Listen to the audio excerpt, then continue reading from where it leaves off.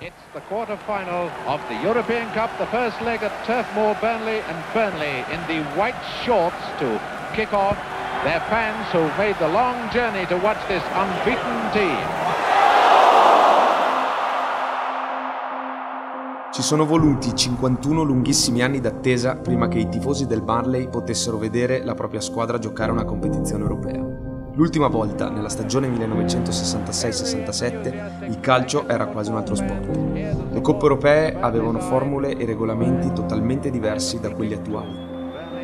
Turf Moor ribolle, è un catino pronto ad esplodere e godersi la tanto attesa gioia europea. L'unico ostacolo da superare si chiama Aberdeen FC, storico club scozzese che negli ultimi anni, in patria, ha più volte provato ad insidiare il dominio incontrastato del Celtic.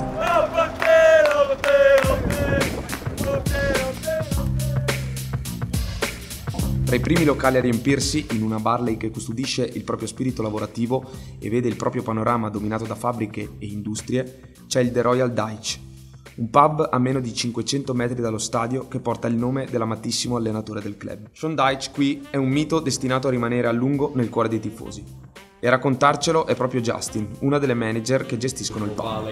But why you choose Sean Dyche? Just because he's the manager, um, it's the influence what he's had as an individual on the team. It started out as a joke, but when we saw that we actually achieved like seventh Yeah. place, You- so you didn't yeah. know? So we didn't know. No, yeah, we didn't know. It was just a joke. Yeah. Un pub però non sarebbe nulla senza i suoi clienti.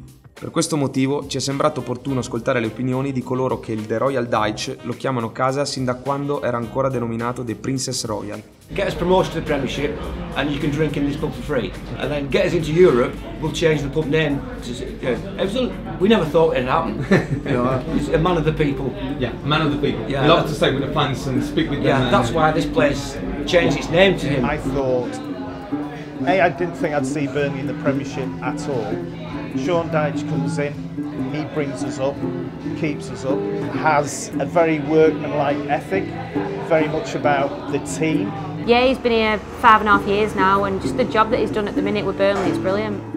Are you care when you know a big uh, fan base come here for a match? Not at all. It adds to the atmosphere. I think Yeah. everybody respects and everybody just wants to have a good time. You've got your fans who are really die hard, you know, behind the team.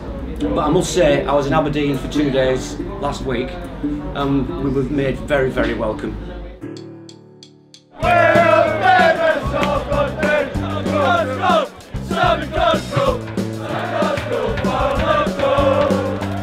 A Barley ci saranno 2500 tifosi provenienti dall'estremo nord della Scozia, sebbene alcuni di loro siano partiti addirittura il giorno prima e abbiano viaggiato circa 9 ore prima di raggiungere la cittadina inglese.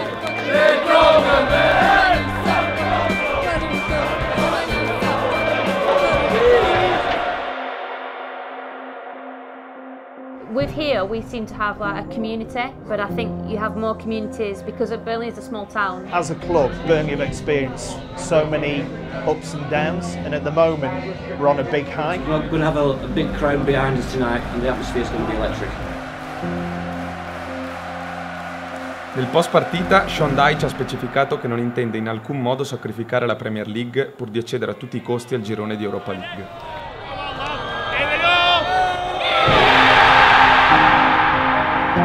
Sappiamo quindi fino a che punto si spingerà il suo Barley in questa stagione, ma le emozioni vissute all'interno e all'esterno di Turf Moor, condite dall'entusiasmo dei tifosi, ci hanno lasciato un ricordo indelebile della città. Europa o meno, quella birra sorseggiata al The Royal Dyche ci sta già chiedendo il bis.